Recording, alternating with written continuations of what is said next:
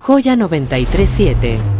La radio inteligente. Lila Downs está en Joya 937 y entonces el día se vuelve mucho más luminoso. Tu música, tus colores, tu alegría y tu fuerza, Lila, hoy te tienen sentada nuevamente aquí en tu casa. Muchas gracias, querido Mariano. Gracias por esta invitación. Te quiero, te, te reconozco mucho, mucho, mucho este valor con el que tú sacas adelante tu música, tu vida. Y sobre todo, pues te admiro muchísimo. Somos muchos, cada vez más y más y más personas que te conocemos en el mundo entero. Miren, mm, van a pensar, ay, qué chismoso, pero va a terminar en, en Helsinki, en Finlandia, antes de llegar al Auditorio Nacional, ya muy subida de tono y todo, pero finalmente se va a volver a ubicar. No se te va a subir, ¿verdad? claro que no. Ni en Zaragoza, joder, tampoco. No, hombre. Lila, bienvenida. Muchas gracias. Bienvenida, bienvenida. Muchas gracias. Trae un nuevo disco con canciones que, bueno, vamos a ir conociendo poco a poco. Los Sánchez. Eso, los Sánchez, que es la familia de mi mamá, mi familia del pueblo, del pueblo de San Miguel el Grande. Y en una ocasión tuve la oportunidad de conocerlos. Eran como 400 reunidos, eran ¿Los como Sánchez? 200 los Ah. Sánchez y otros 200 los Cruz, que son de la familia de mi abuela. Y pues fue un regalo, ¿no? Que tuve esa oportunidad. Y pensando en ellos, la música norteña para mí representa la familia, las reuniones, las barbacoas, esos domingos cerveceros, mezcaleros. Sí, como- y de música. y de la música que amamos, ¿no? ¿Ahí se canta también en esas? ¿O nada más se oye música? Ahí se cantan de esas, es lo que he estado compartiendo con nuestro público, que eh, a mí me tocó apadrinar o amadrinar a una nena chiquita de una región de Guajuapan de León, también mixteca, mi paisana, que tocaba la acordeona y se acompañaba y tenía ocho añitos y cantaba tremendo. Y, y aquí en la ciudad nos topamos muchas veces con mis paisanas y paisanos tocando la acordeona, entonces es muy, muy típico. Incluso hay un pueblo donde la mayoría de la gente sale a emigrar, pero llevan su acordeona, se consiguen su acordeona y su sombrero. Oye, ¿y estas canciones del disco de Los Sánchez son temas nuevos? Son temas inéditos, este, excepto una, que es clásica de José Alfredo Jiménez. Pero eh, yo empecé a componer esta- estas canciones hace como tres años, antes de pandemia. Empecé con anotaciones, luego durante pandemia, Paul y yo, mi marido, eh, nos peleamos un poco, ya mero nos separamos en pandemia, como mucha gente. Y entonces tiene su carga de desamor y de separación el disco. Y también curioso musicalmente, porque Paul me dijo, ¿sabes qué? Como es norteña, como que tú hazlo. Y vamos a ver quién, quién te apoya, ¿no? Con, con la producción. No así de vamos a ver, sino, sino Buscaremos. amablemente buscaremos a una persona que, que te apoye. Y encontré un productor joven de 28 años de Sonora. Y así este, hicimos como esta compilación. Pues me tomé mi tiempo con este disco, la verdad. Lleva mucho amor, muchas lágrimas. Y, y es, la verdad, yo creo el más autobiográfico de mi vida. Sin duda. Eh, Lila, tienes ya algunos meses sin poder escribir una canción, sin poder volver a ser la misma mujer que, que has sido y que hemos conocido. Paul, el amor de tu vida, se fue hace ocho meses. De, de- de este plano terrenal en el que estamos y él fue... Sí, porque tu me visita, ¿eh? Sí. Sí, me visita. ¿Lo sí. sientes? Sí, me manda mensajes porque tengo ahí su altar donde están sus cenizas aún y puse una lamparita y se, se de pronto se apaga, se comunica, se comunica conmigo sobre algunas cosas muy fuertes que me han estado pasando desde ¿Que tú le consultas o, o- o no, la verdad es que son, son como sorpresas, ¿no? Que hasta los niños, ¿no? Se me quedan viendo así como, ¿Y cómo, ¿qué está pasando aquí? cómo te sientes al respecto? Cuidada. Me siento ¿O te da cuidada. miedo? No, para nada. Me siento cuidada. Siento que él está conmigo. ¿Crees en eso? ¿Creías Ah, en sí. eso antes de...? Sí, antes de. Y yo le dije, Paul, tienes que volver, ¿eh? En los muertos y además tienes que estar aquí. Me dice, ay, ya, no estés molestando porque en inglés, ¿no? No, ¿cómo crees? Eso no es verdad. Él nunca creyó en el más allá, nunca fue creyente para nada, ¿no? Y este y, y le digo, mira, tú tienes que prometer, y esto fue unos meses antes de que falleciera, ¿no? Tú tienes que prometerme que vas a volver. Y como estaba yo friega y jode y friega y jode, me dijo, bueno, pues ya, voy a volver. Oye, Lila, ¿estuvieron juntos 28 años? 28 años. Toda una vida, Toda caray. una vida, ¿verdad? Pero Tuvimos aparte- una buena vida. O sea, de pareja, de, Sí. de- de- de padres, de músicos, de Sí. productores, de ermitaños. Sí, eso, eso. Tuvimos una vida muy bella juntos. Entiendo que por un proceso de salud a él le habían diagnosticado eh, que pues simplemente podría estar, si acaso, cuatro años más contigo. Cuatro años, así es. Pero no fue así. No fue así. A mi hijo de dos años tenía cuando le diagnosticaron, le empezamos a, a decir que un día iba a partir papá. Entonces nos duró 10 años. Entonces mi hijo, pues, un poco estuvimos soltándolo a Paul cuando él falleció. Yo creo que fue una carga que llevábamos hace años, ¿no? De que él se nos iba a ir. ¿Él pasa sus últimos días acá en México? Estábamos en Oaxaca. Estabas en Oaxaca. Estábamos, sí. Él estuvo ensayando mucho ese día. Se pasó, yo creo, de ensayo, porque ya le habían prohibido tocar el saxofón. El saxo tenor jala mucho aire, requiere Sí, de sí, mucho sí. esfuerzo. Y me dijeron sus compañeros músicos que ese día practicó como tres, cuatro horas. Es mucho. Es mucho. Y, y estaba desgastado. En la noche me dijo, ay, tengo mucha hambre. Le dije, pues ve a comer algo. Yo, yo tenía COVID, entonces yo estaba en Oh. cama. Y, y regresó, se bañó, se acostó y luego vino el, el ataque a su corazón. Y fue tan rápido y tan fuerte que, que de pronto descansó su, su rostro Claro que yo estaba en pánico, ¿verdad? Porque nadie, yo creo que se acostumbra a la, a la idea de la muerte, ¿no? Y cuando la ves ahí ante ti es muy difícil. Pero Pero después aparte tenías COVID. tenía COVID. Sí, se me quitó todo, ¿eh? Sí, sí, sí. Sí, pues llamé a mi, mi mami, llamé a mis compañeros del equipo allá en Oaxaca y me apoyaron a levantarlo y ponerlo en un elevador, porque tenemos un elevador para bajar al a la primera planta. Y ya estaba muy blanco, ya de automáticamente empezó a, a ponerse ya. Entonces, no había nada más que hacer ya. No, porque fue- se notó pues que fue, fue muy, muy fuerte el ataque. sí. Eh, te toma eso obviamente en, en un... Es que yo el otro día pensaba, nunca es un buen día para morir, o sea, siempre le da uno al traste a las emociones, al, ritmo de la vida de los demás, pero pues tú con una agenda como la que tienes y las producciones y los conciertos y los contratos y las giras, eh, ¿qué, qué, qué pasa por tu cabeza en ese momento, Lila? ¿Qué haces? Ay, sí, pues eh, sí fue un panic de pronto, pero afortunadamente cuento con mi mami, que cuando le hablé me dijo, mira hija, lo primero que tienes que hacer es calmarte. Y respiré y dije, claro, todo este tiempo yo sabía que este día iba a llegar. Y acuérdate, porque ya haces tu lista, ¿no? De cosas que tienes que hacer. Y, y es exactamente lo que hice, ¿no? Y, y fue, fue difícil porque no, no me di cuenta de pronto de, de que tenía que comunicarme con nuestro público, nada más pensé en, en los amigos más cercanos, yo creo que es lo que pasa, ¿no? Te, te vuelves una sobreviviente. ¿Cuánto tiempo Sí. pasó para que pudieras volver a dar tus primeros pasos en cuanto a vida pública? Yo creo que ahorita, ahorita ya me siento más acercada con el público de nuevo, ¿no?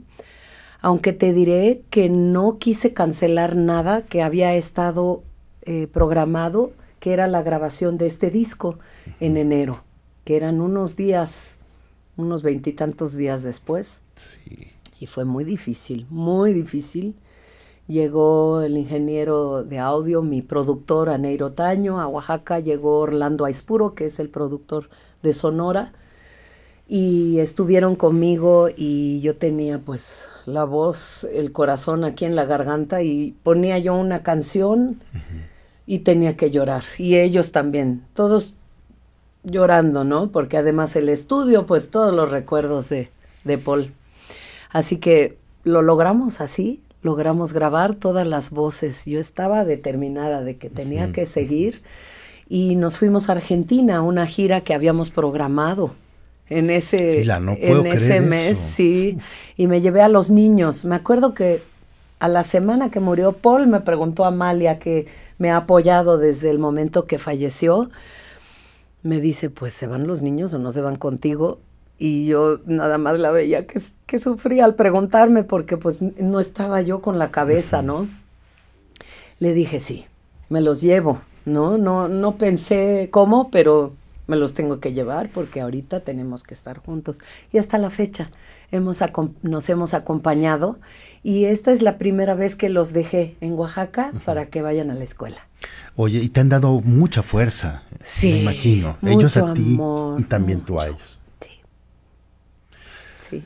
Eh, vienen muchos planes por delante, Lila. Entiendo que debes de estar pasando por días pues, muy complejos en cuanto a emociones, ¿verdad? Platicábamos antes de estar al aire lo, lo complicado que es que pues puedes estar en un día sintiéndote normal y de repente pues con tristeza o nostalgia, de repente un poquito irritable, al ratito andas feliz y suelta una carcajada y al rato otra vez vuelve a iniciar el ciclo.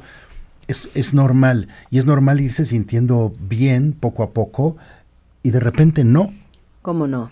Decir, oye, pero siento que ya avancé un kilómetro y ahora me estoy regresando 500 metros también eso es normal. Claro, así eh, es. Porque muchas personas seguramente que están pasando por un momento muy complicado ahorita o tienen algún familiar enfermo, dirán, pero ¿cómo le hace? ¿Cómo le hace? Pues es así, como lo dijo Lile, levantarse, bañarse y dar los primeros pasos hasta donde se puede y cuando no se puede, pues sentarse tantito, tomar aire y continuar. Es poco a poco, es todo un proceso, Lila. Todo un proceso y pues nosotros tenemos el privilegio de, de tener nuestro arte, ¿no? De poder dialogar con un público, de poder dialogar con nosotros mismos dentro de esta comunicación que es el arte, para mí las canciones y, y para usted es esa, ese reflejo con el, con el, con el público, con, con otras personas que, que sufrimos el mismo camino o que no lo, quizá no, nunca nos, nos habíamos puesto a pensar sobre esto, ¿no? Y yo creo que eso me ha ayudado mucho también. Siento que cuando me monto en el escenario, está esa parte guerrera de mí que, que no sabe ni cómo mentalmente, pero que emotivamente me saca adelante. Y eso es fascinante que el arte nos pueda llevar a esos, a esos lugares. Sí, es un instinto de supervivencia también que pues nos, nos, echa hacia adelante. Y ahora con un disco nuevo, Lila, eh, y un auditorio nacional también, pues a la vuelta de la esquina, porque estamos a nada ya de septiembre, estamos a ocho semanas, de que vuelvas a tomar el auditorio nacional ya como una tradición. Así es, vamos a estar en auditorio haciendo una ofrenda muy especial y también eh, cantando los temas nuevos de este disco que tienen estos estilos hermosos del acordeón, de la tuba, de una banda pequeña, norteña, con muchos sabores de Sonora, pero también algunos sabores del sur eh, me decía el productor de allá de Sonora, uy, pues aquí todas las bandas son de oaxaqueños de todas maneras, así que está esa fusión, ¿no? De Oaxaca en el norte al igual, y, y pues cantándoles con todo nuestro corazón algunos invitados que tendremos sorpresa para ah. nuestro público. Y, y estamos ahora emocionados también de poder ir a Estados Unidos y compartir estas canciones porque la música norteña tiene una profundidad Pero ¿no? ya usted, emotiva. ya, ya que nos hablamos de usted, eh, ya dijo, la música norteña ya está hablando así como... si Como norteña, norte, está ¿verdad? traicionando a usted a los del sur. Ah, no, porque pues es parte de, ¿no? Es parte de ser, eh, de ser músico, de ir con el tono de algo que respetas, que te gusta, em, que le encuentras el sabor.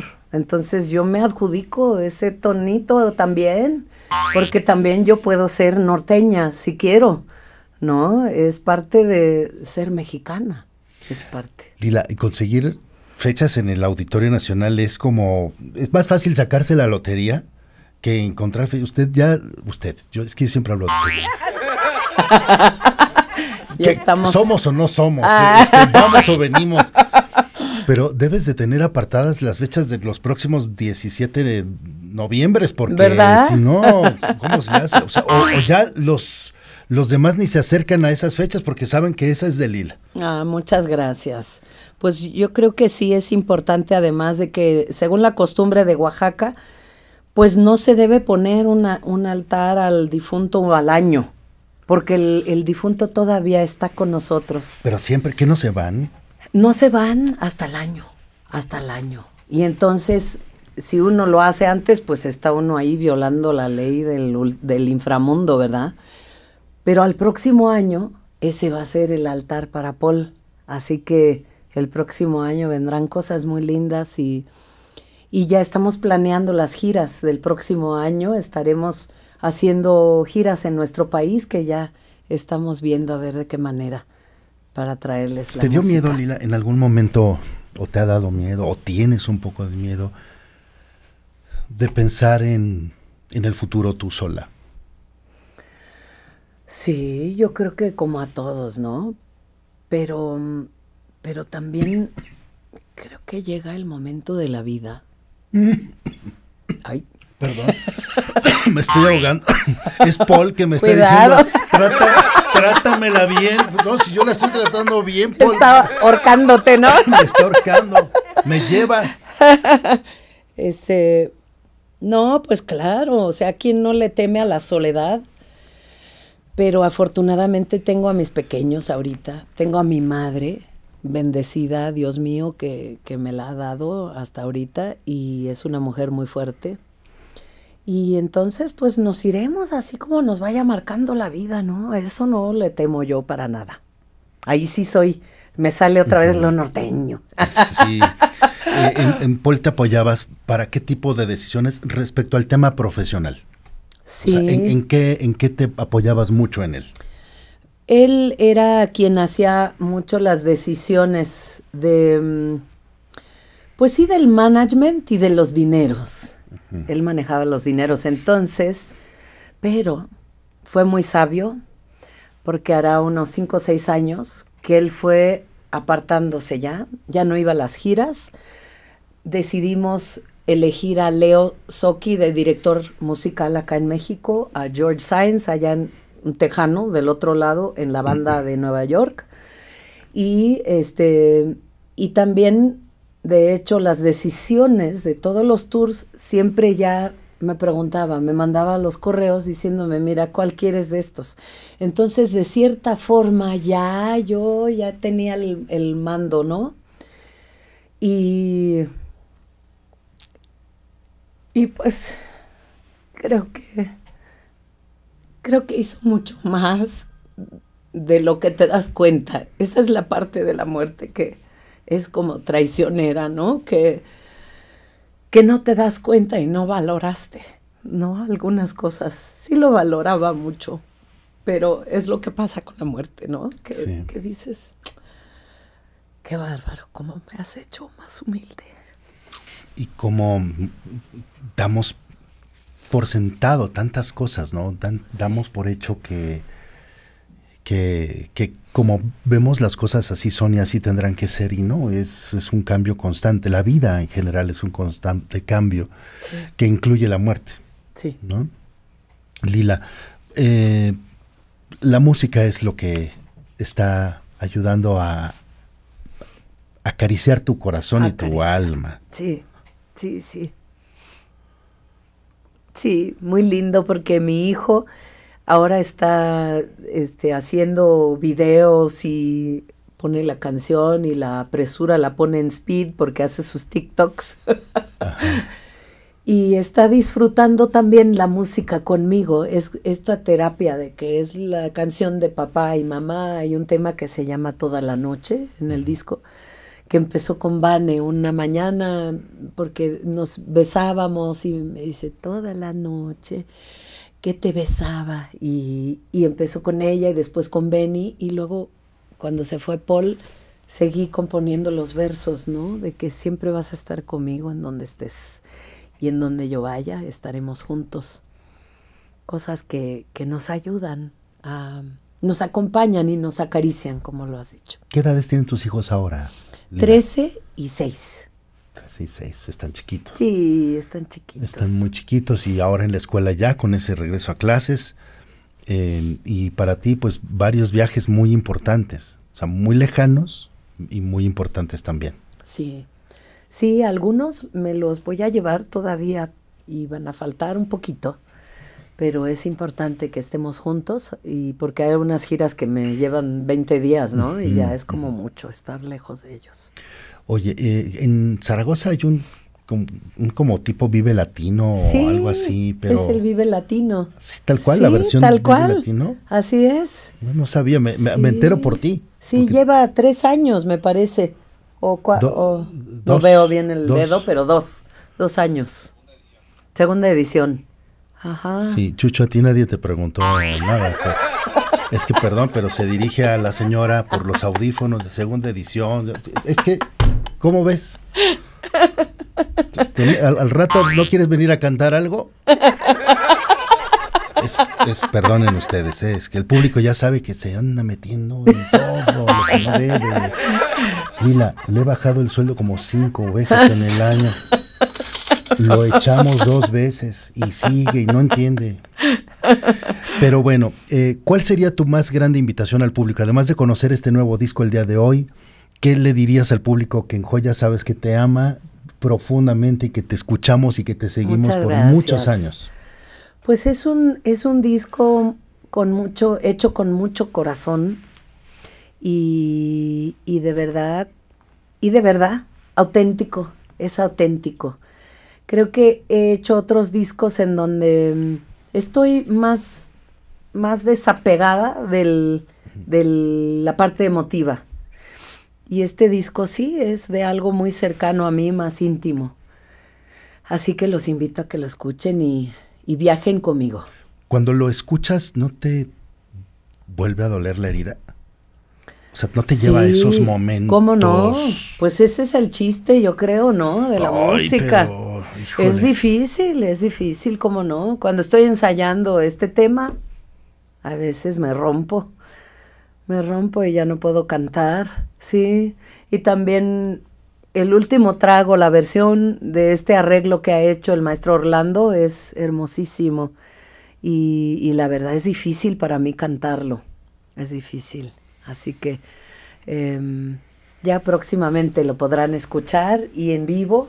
Sí. Y, y se los cantaremos con mucho cariño para todos ustedes. Y estos son los primeros pasos de Lila Downs a quien con todo el amor del mundo te agradezco que hayas venido, querida Muchas Lila. Gracias. Muy, muy especialmente. Me emocioné mucho cuando supe que podías estar aquí con nosotros. Muchas gracias. Y, pues vamos a seguir celebrando la vida, el amor por los que estamos y por los que se fueron, pero siguen viviendo con nosotros.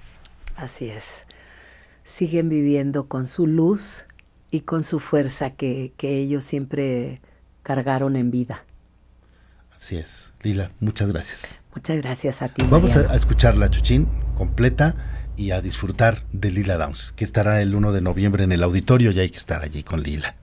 Esto es Joya 937, la estación de Lila Downs. Joya 937, la radio inteligente.